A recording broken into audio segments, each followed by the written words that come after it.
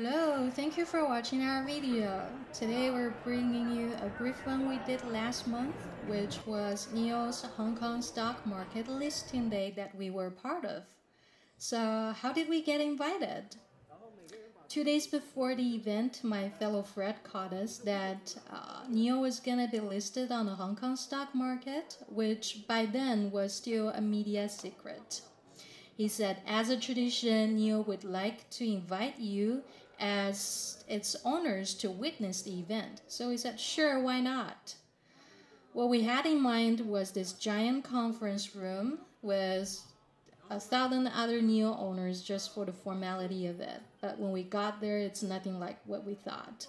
We found out that we were only two of the five owners invited, and this very nice gentleman called us 24 hours before the event instructed us on how to get there, what to dress, and helped us rehearse the, the thing for a little while.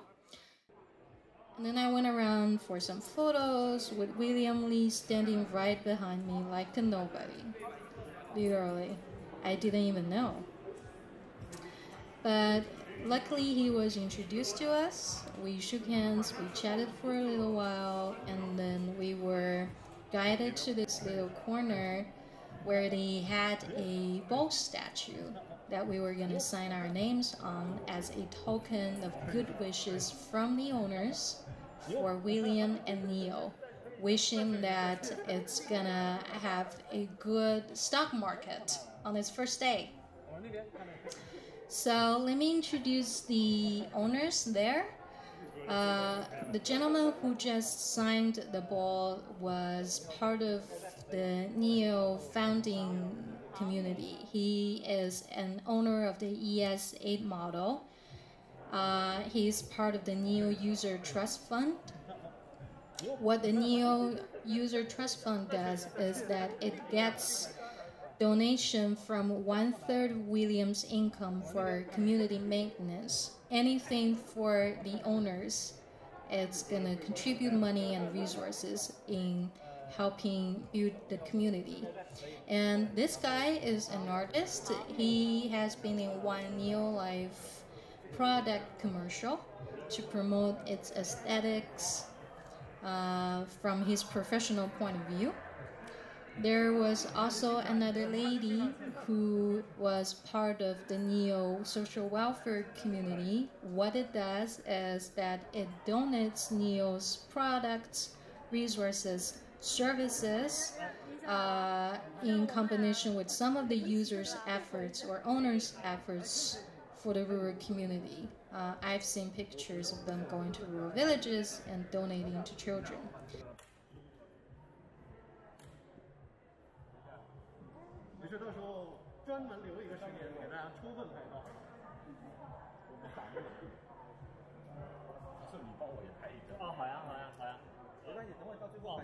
So William gave a little talk, and then we ran about, had our champagne in celebration. We took photos. There's William in the middle as the CEO and founder of NIO.